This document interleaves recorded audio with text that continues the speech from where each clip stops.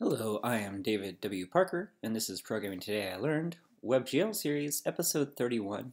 Again, we're going to be looking at multiple shaders, but today we're going to be looking at how you can use keyboard input to switch between them. This will be a shorter episode because it's fairly simple.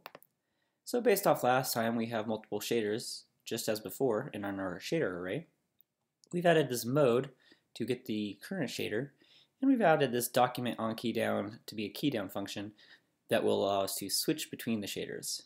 Here we're now going to be using the mode rather than hard-coded indices, and everything else is the same here. Uh, we'll just demonstrate this with triangles today. And then finally down here in the key down, we're going to use the char code from the event, from the keyboard click, uh, and if it's an S for shader, we'll go ahead and call toggle shaders.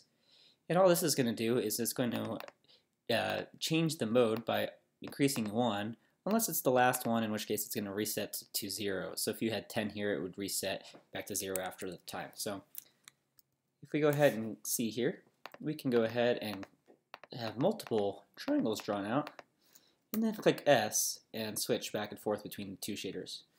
So that's it for this episode. If you like what you saw today, please go ahead and subscribe, like this video, share it on social media, and go to programmingtil.com and sign up for my newsletter. Have a great day.